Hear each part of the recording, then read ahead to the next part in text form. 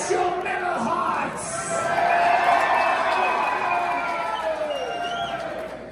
For all these years of support, we released The Wings of War. Last year, this is our first time here doing it. So right down hard, I'm a selfish motherfucker playing